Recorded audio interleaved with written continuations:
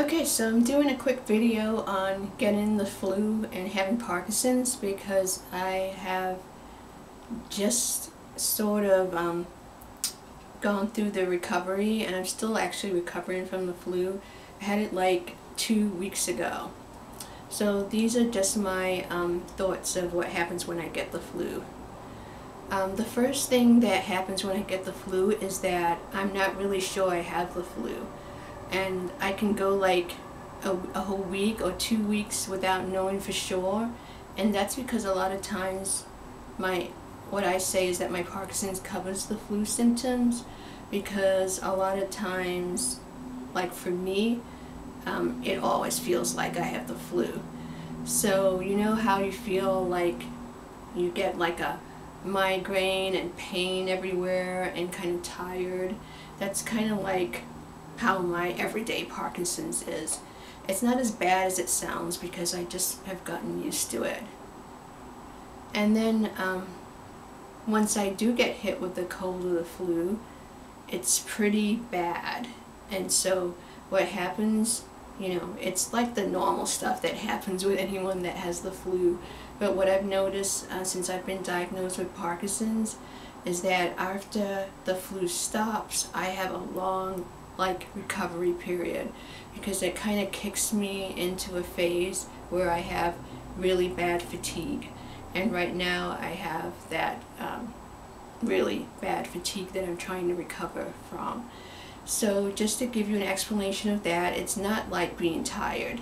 Uh, I mean, I am tired a lot of the times when I have flu, but it's more than being tired. Um, for me, like fatigued is, it's like I get up and I'm ready to go do something but I don't have the energy to do it. So I'll have to like sit down because I don't even have the energy to stand. And um, generally I have to watch my activity level anyway because I do suffer from fatigue with my Parkinson's. So I do limit what I do to three three things a day. And when I have the flu or I'm recovering from the flu and it's kicked me into a fatigue period, I have to go down to doing one thing, and that one thing is like a struggle to do that one thing. Um, so that's why I think it's best that I don't get the flu. So I will be getting um, flu shots from this, you know, this period on. Um, I did intend to get a flu shot, it's just that I didn't get it early enough. Another strange thing that happens when I get the flu is that I don't have any Parkinson's pain. And I have no clue why that is because I have pain with my Parkinson's like every day. But I noticed that when I do have the flu, I have pain like you normally would have, like nasal pain, like migraine, but not the Parkinson's pain um, that I experience. So maybe the body can just like deal with one type of pain, I don't know.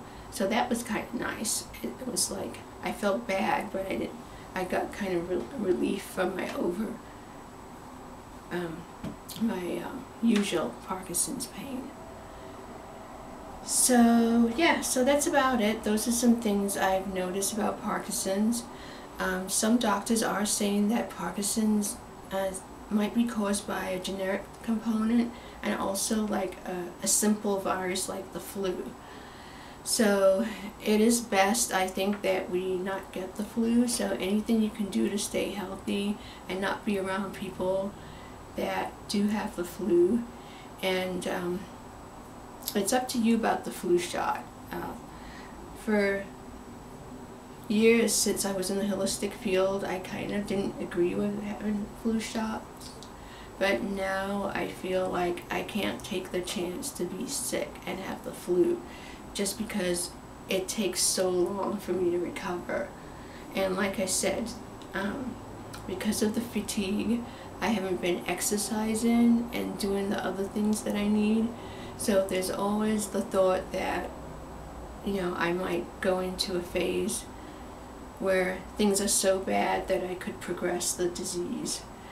So that might sound a little bit dramatic, um, but that's always on your mind when you have a chronic condition that can, um, or generally does progress, even though it progresses at a slow rate. So that's it for today, and make sure not to get sick.